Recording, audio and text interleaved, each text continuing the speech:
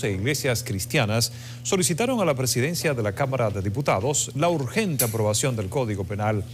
Los líderes evangélicos señalaron que hoy, más que nunca, el país necesita una legislación penal moderna y responsabilizaron a los políticos y legisladores de estar comprometidos con agendas internacionales para retrasar la aprobación de esta pieza que ya fue consensuado en la Cámara de Diputados y luego consensuado en la Cámara del Senado, luego devuelto. Yo quiero pedirle a todos los organismos, sobre todo al presidente de la Cámara de Diputados, que respeten al pueblo, porque el pueblo necesita un código penal que tenga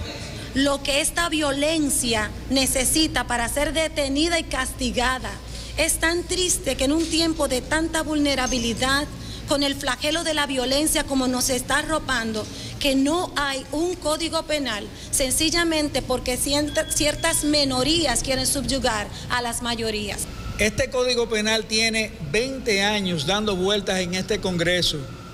y es un código ya de más de 100 años que necesita ser renovado.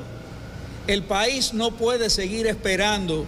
este código penal. Han presentado sus inquietudes las vamos a recibir. Entendemos que sí, que este país necesita un código penal actualizado,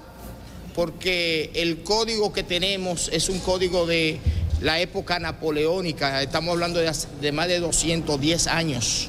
y ya se ha consensuado casi todo, como decía el señor Tony Flaquer,